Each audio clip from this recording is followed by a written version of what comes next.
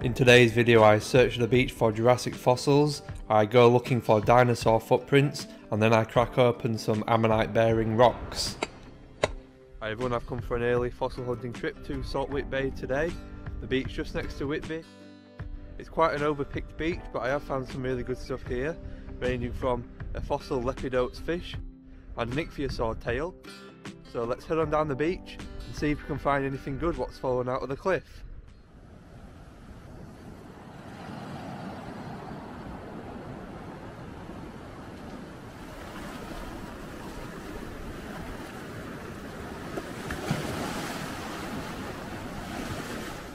A nice coprolite in my hand what I've just picked up from a probably an ichthyosaur or some type of marine creature.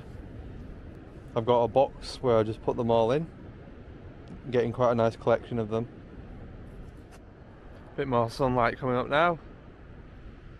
There's the nab that you can probably make out all the way over there.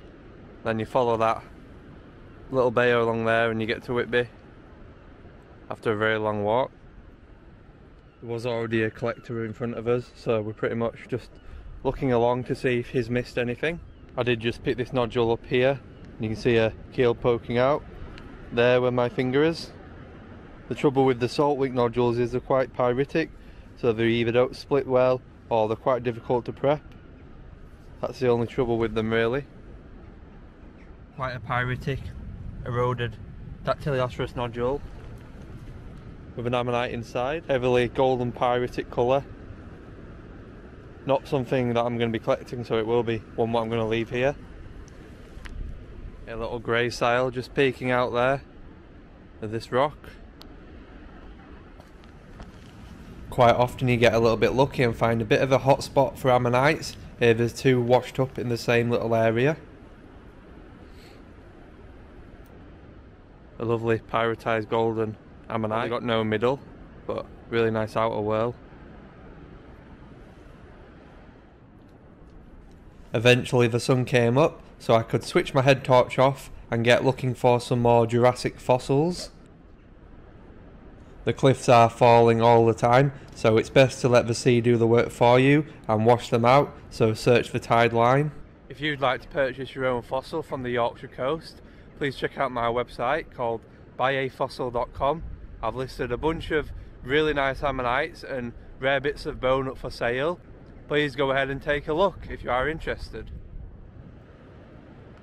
A lot of the beaches around the Whitby area have shipwrecks washed up on them. This one was from 1976.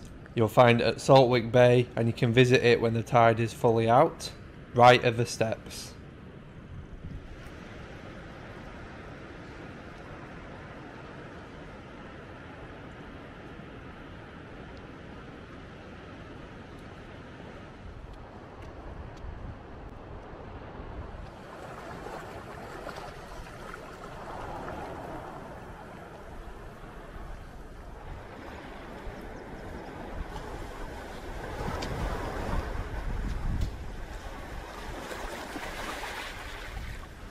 Got quite a few nice looking ammonites to crack open that are in my bag.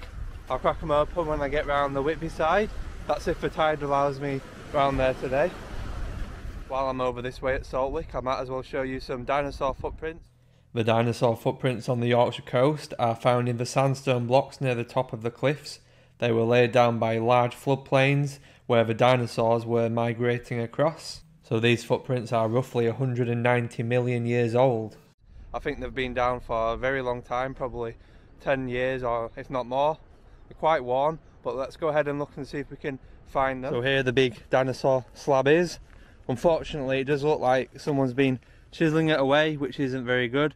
It's been down for about 10 years and it is a bit of a shame. But there's the uh, three toes, one, two, three. When dinosaur footprints are in slabs of this size, they are best just left on the beach. I'm going to go ahead and show you a better one, which is over this way. I'm definitely not taking the credit for these. These were shown to me when I first started collecting, probably about four years ago. I have collected a few nice footprints of my own, which have been in really small blocks. If you are interested in seeing these, please let me know in the comments and I'll do a video in the future. So here is the better dinosaur footprint in this big large sandstone boulder which is sat in a rock pool. It's in the very centre, the middle toe, and the right hand toe. Again, this has been quite seaworn now, but hopefully you can make out the shape of the footprint.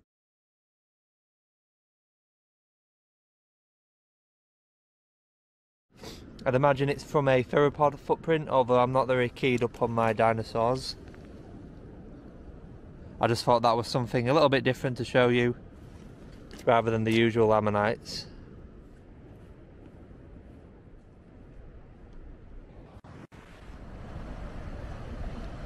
So I'm over towards the Whitby side now. The pier is over there, Sandsend in the very distance, and then Kettleness right round at the back over there. So I've brought along some quite good looking ammonites with nice cracks running along the keel. So I'm going to get my chisel in and see if they'll pop open. I brought them from other hunts and I'm going to open them today. Let's go take a look. I specially selected these from my pile of ammonite nodules just because these ones look like they've got the biggest probability of a good split.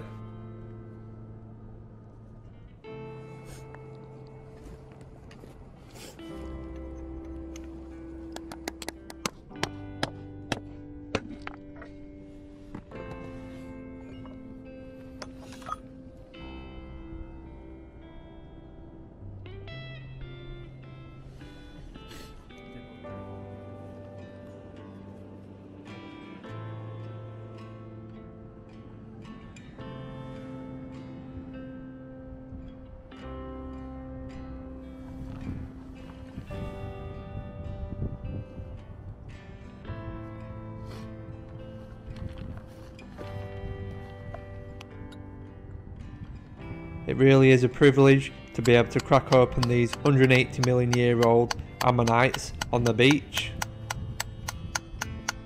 This is easily my favourite opening of the day. The negative does crack open and splits off, which I'll glue back. However, the positive of the ammonite is absolutely perfect. A quick wash off in a rock pool and it reveals the beautiful detail and lovely colours of the ammonite. This ammonite opened all the way to the very middle with a beautiful pinpoint centre. If you have enjoyed this fossil hunting video, please remember to give it a like and subscribe if you want to see more fossil hunting videos on the Yorkshire coast.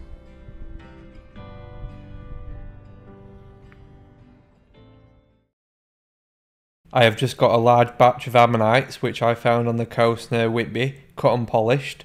These were all specimens that would have been very difficult to prepare using an air pen, but cutting and polishing them shows the stunning calcite crystals and pyrite within the ammonite chambers. They are all 180 million years old and Dactylioceras species. They make great gifts and display specimens.